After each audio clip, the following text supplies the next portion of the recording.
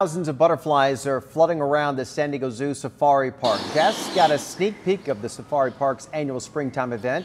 It's called Butterfly Jungle.